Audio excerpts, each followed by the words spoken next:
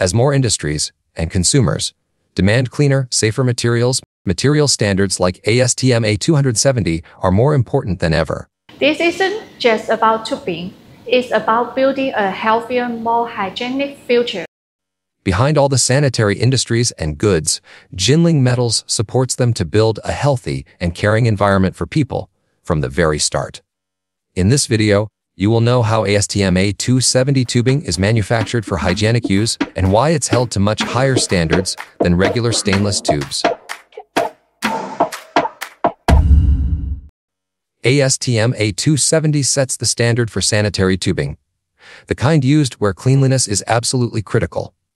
Whether it's carrying milk medicine or anything in between, this tubing needs to meet strict requirements for surface finish, cleanliness, and durability.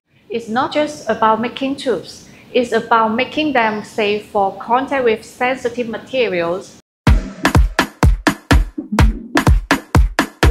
Now, making stainless steel tubes usually follows a standard flow, slitting, welding, cutting, polishing, and packing. But with A270, the difference is in the details. Everything, from the environment to the equipment, has to stay extremely clean.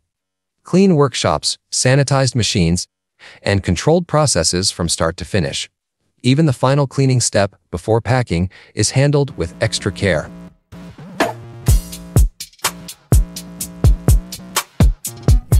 Right after welding, the tube goes straight into annealing. This step uses heat and nitrogen gas inside a glass chamber to stabilize the tube.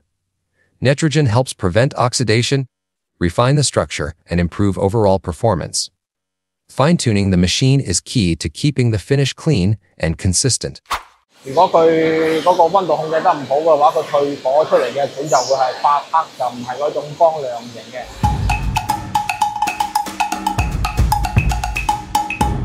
Once the tube is welded and cut, we take a close look, literally. Inspectors carefully examine the inner and outer welds to make sure they meet sanitary grade requirements. But we don't stop at visuals. Each tube is also put through an underwater airtightness test, pressurized at 24 bar for at least a minute to check for leaks or weak welds. 如果佢焊服冇焊透嘅话咧，佢嗰个管嘅表面系会起一个诶、呃、气泡。